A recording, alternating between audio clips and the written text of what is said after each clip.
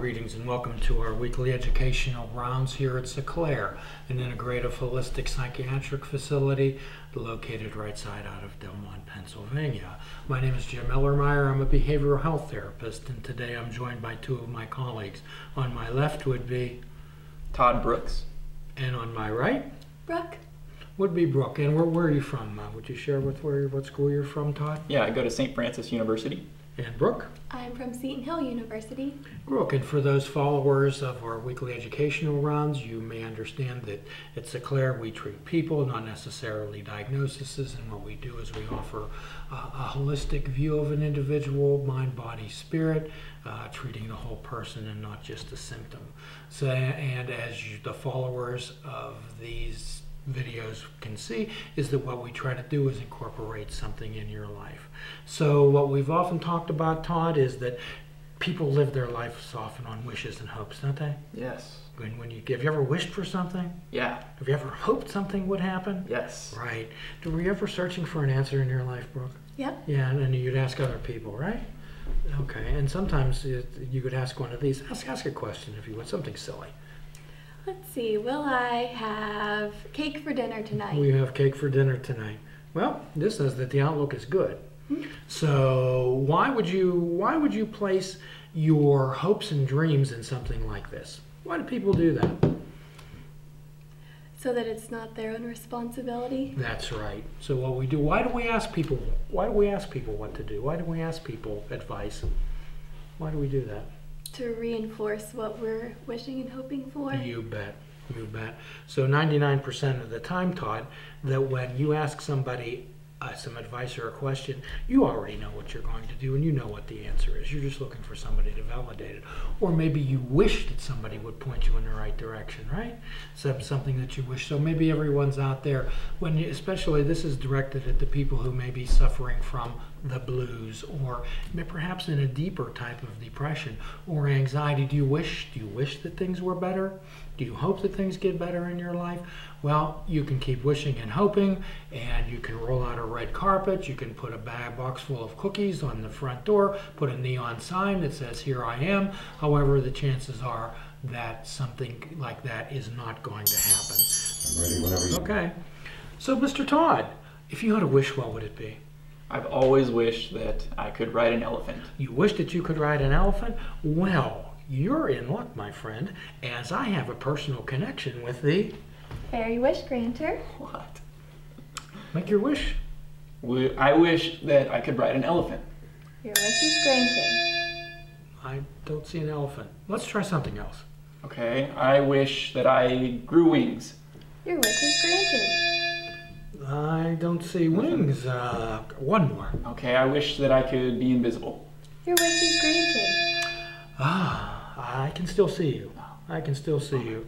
So, would you uh, would you care to join us, uh, fairy uh, wish princess? Yes. thank Okay, you. thank you. So perhaps in your life there is no there is no fairy wish princess. There is no anything like that. So let's take for example the end scene in The Wizard of Oz. The uh, Tin Man wanted a, Heart. and the Cowardly Lion wanted, Courage. and the Scarecrow desired brains. Okay, so although they didn't have these things at the beginning, did the wizard give them those things? Did he give them them? Did- Could he could he give anybody courage? Could he give anybody brains? Could could he give anybody uh, those things? Those No. a heart? No. So what what was the whole movie about? The whole movie about was them. Finding their own. Their. Yes, their their their whole was taking action and effort. So when the scarecrow had an intention to get brains, when the cowardly lion had an intention to get courage, when the tin man had an intention to get heart, it was all the action and effort that they put into their lives going through everything that they did that they developed those qualities, right? So all the all the wizard had to do was reinforce in them by maybe some small tokens that he gave them. Remember? Remember? So what did he give? Does anyone remember what he gave the scarecrow? He gave him a diploma. Oh yeah. Okay. Does anybody remember what he gave the uh, the Tin Man? Like a heart clock. He gave him a heart clock. Okay, the tick tick tick like a heart. Does anybody remember what uh, they gave the Cowardly Lion? They gave him a medal. Okay, so those are those are symbols. Those aren't those. The, a medal is not courage, and that heart, that clock heart, is not a heart, and a diploma is not brains. It's not intelligence, is it? Those mm-hmm. things have to be earned, and they they have to be worked for. So when you're when we're suffering from depression, when we're in that dark place, feeling like we're walking through life with concrete blocks tied around our ankles, and we're in the dark, and so I say, you know, when somebody says, "Well, cheer up, the, go see a funny movie," I'll tell you a joke. Those things don't work. Okay, it has to come from inside, and first of all, you have to do it by setting intentions. So you could tell us a little bit of uh, what's the difference between intentions and wishes and dreams, Brooke. I think what the biggest difference between wishing and being intentful is that a wish is connected to your emotions. So they're going to be affected by your anxieties and um, other things that you're feeling. Whereas being intentful is always followed by an action that is consistent with the intent. Um, so, just for example, if I say that I desire to lose weight, for me, if that's connected to my emotions, the action that follows isn't going to be consistent with my true desire.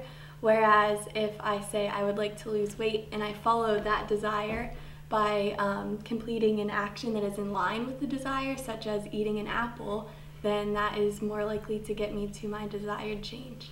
So what you're saying is I can wish to lose 50 pounds for the next 50 years, but until I take some actions that follow the wishes, that mm-hmm. follows the intent, then little or nothing's going to happen. Right. So when all we do is wish and hope, sometimes what we do is we set ourselves up for disappointment, don't we? Mm-hmm. So rather than say, okay, well, so people out there say, okay, so how do you do it? So how would, how would a person go about that, Todd? What, what are some of the steps that somebody would use for to do the intentions? For sure. Well, like like Brooke said, uh, intention is followed by action. So you can wake up in the morning and you can say, okay, I intend to make this a good day, a happy day, or when you get in the car, I intend to be safe when I'm driving on the road, and those are going to be followed by action. So there are four four major steps uh, to um, creating action out of intention. The first one is get clear about something that you want and then write it down. So as you do this, you're you're making it concrete. You're making it something that you can see every day, and it really it uh, it validates that to yourself.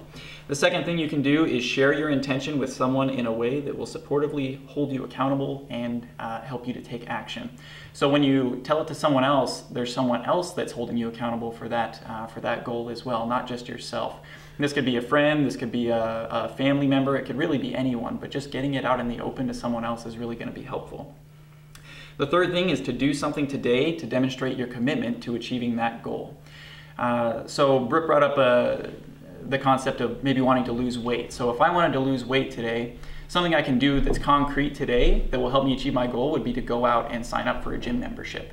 So that is taking an actual step for me to, uh, to go ahead and uh, achieve that goal. And the last thing is acknowledge that you did what you said you would do and take the next step. Okay, so now I signed up for a gym membership. Now I need to set goals to actually go to the gym on a frequent basis and follow through with that goal. So those are the four main steps, and if you can do those four things, uh, you're going to be well on your way. So you're talking about getting a clear goal, not just saying, I want to lose weight, or I want to be happy, or I would like a relationship. Uh, that's that's that covers a whole basis, a lot of bases, does it not? So when you share something with somebody, Brooke, asking you're you're asking somebody else to hold you hold you responsible, right? You're you're committing to someone else that that can remind you. It's just not to you because when you just commit to yourself and you don't get it done, then it doesn't matter, does it? Right. You're not you don't have any responsibilities. So then doing something today, even the smallest thing. So what we do is we build on small achievable goals. Small achievable goals. When when we build on small successes, they begin to add up and they become mountains of success, do they not? And then what we do when we acknowledge what we do is we self-validate. We have positive self-talk. I hope everyone out there talks to themselves. And what I hope do, hope you do, is that you talk to yourself in a positive way. That remember that change the lenses in your glasses and look at the positive things in your life. Look at your positive attributes. Those are the things that you that you grow from. So my hope and my wish for everyone out there is that you take an active role in your life, that you get involved with in your life, that you participate in life, that you intend to seize the day, even even a small biteful at a time. So you know how to eat an elephant? One bite at a time, right? One bite at a time. No one can swallow the elephant, and that's what sometimes wishes and hopes are. We, we, we try to swallow elephants. Okay? So, as always, we end the podcast with a free prescription fruits, nuts, and vegetables. Uh, unplug your television, and for and take up fishing. And for a truly mindful experience, we would ask that you fish without bait. Be good to yourself. Where are you at, Todd? Where are you at? Right here. You're right here. And what time is it, Miss Brooke? Right now. It's always right now. And it's always right now, and you can always reach us at www.seclairer.com. Educational runs until then. Namaste.